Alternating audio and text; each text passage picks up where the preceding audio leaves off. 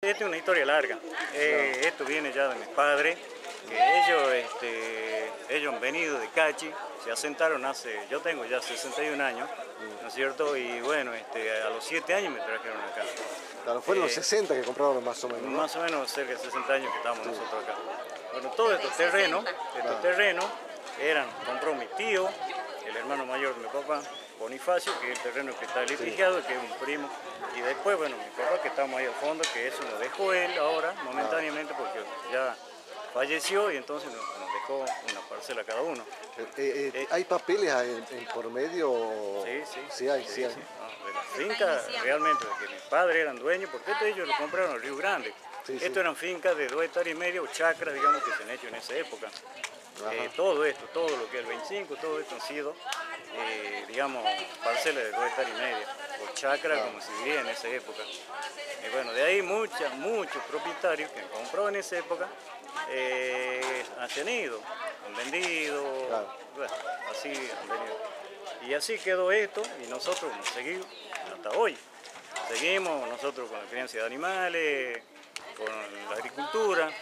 Y ahora el señor Velázquez, ¿qué, qué, qué- por qué dice que es de él?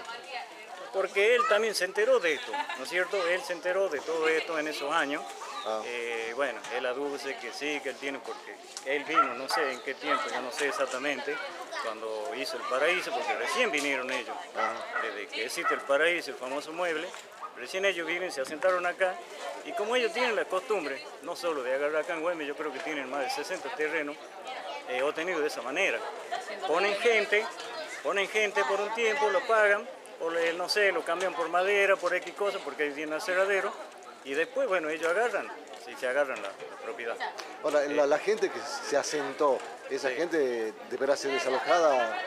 Y yo, eh, de, una que sí, esa gente no tiene, no tiene cómo estar acá, tiene cómo estar, una, tenemos todo el apoyo del barrio porque no, no quiere esa clase de gente acá, no queremos esa clase de gente porque nos veíamos amenazados de todas formas.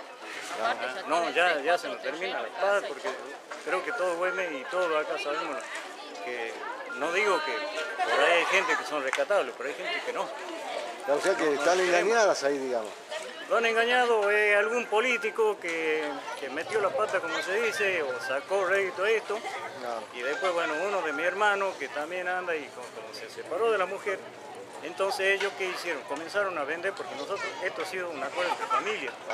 Entonces ellos fallan, comienzan a vender una parte que dicen que no tienen terreno, juntó 40 tipos metió a las 4, 5 de la mañana. Por la parte donde tenían ellos. Cuando yo vengo a las 8, 9, que vengo del campo, ¿no es cierto? Le doy con este tema y le digo, che, pero ¿qué pasa? Entonces, ¿qué pasa? Toda gente con machete, con comeo, vienen, me atacan, que sí, que mira que vos no sos dueño tampoco, que no tenés tampoco, eh, vos tenés el mismo derecho. Derecho tenemos todo el mismo, por supuesto. Claro. Pero acá yo, nosotros tenemos un derecho por estar y por vivir, y por estar a los años que estamos. Claro. Y Además, creo que hay una ley que a nosotros nos ampara por eso. Bueno.